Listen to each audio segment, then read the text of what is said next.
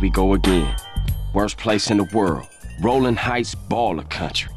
And I ain't represented Grove Street in five years, but the Ballas won't give a shit.